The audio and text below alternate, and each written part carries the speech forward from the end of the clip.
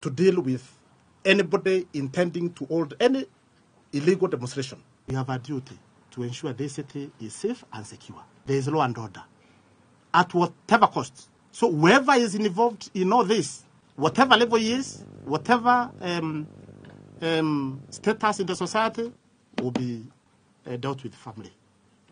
Tomorrow, I'm, I'm likely to make major arrests. I'll do that. And there's nobody I cannot put in custody. Please don't attempt to throw stones to the police. Don't come to CBD to demonstrate because you'll be, you'll be dealt with. Okay. Utashughulikiwa kabisa.